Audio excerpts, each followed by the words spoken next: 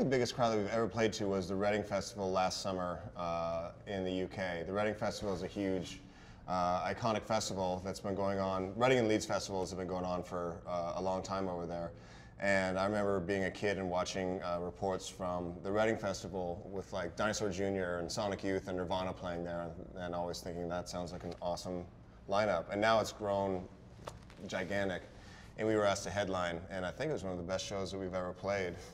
And I remember walking off the stage feeling really humbled and really, uh, really happy with the way that we performed, and feeling like that was one of the parts of our career that I think I remember for a long time.